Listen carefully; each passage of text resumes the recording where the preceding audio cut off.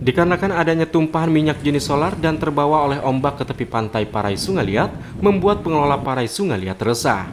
Akibat adanya genangan minyak di tepi pantai, pihak pengelola hotel pun menuai protes dari para pengunjung. Diduga tumpahan minyak tersebut berasal dari aktivitas kapal isap dan kapal keruk di depan perairan pantai Parai.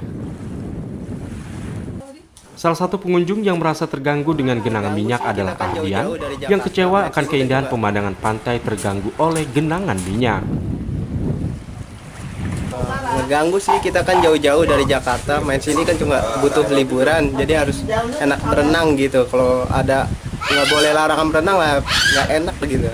Hmm. Karena pantai kan untuk berenang juga. Dengan ada solar ini kita tetap masih berenang nggak? Kalau kondisinya solarnya banyak ya nggak berenang. Kalau masih dikit sih berenang aja. Soalnya kita kan udah dari jauh.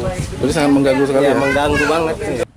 Sementara itu Andri selaku operasional manajer Parai mengakui dengan adanya kejadian ini pihaknya telah menerima beberapa keluhan pengunjung, bahkan beberapa pengunjung ada yang telah membatalkan untuk menginap di Parai tadi pagi hmm. kita rasakan karena ada beberapa dari tamu komplain e, merasa sudah merasa bau di baunya bilang sih bau bensin pada saat kita cek semuanya ternyata ya kayak bau solar gitu hmm. informasinya dari itu sudah pernah terjadi sudah seperti tapi sudah lama sekali hmm. tapi ini baru terjadi kembali lagi hari ini kita sudah informasikan ke dinas pariwisata hmm. dan dari kelurahan setempat di sini hmm. respon mereka bagaimana untuk sementara kita sudah informasikan dulu untuk hmm. respon nanti akan di cross check lagi semuanya untuk saat ini pengelola Pantai Parai pun sudah melaporkan masalah ini ke Dinas Pariwisata Kabupaten Bangka, namun sejauh ini belum ada respon dari pihak terkait.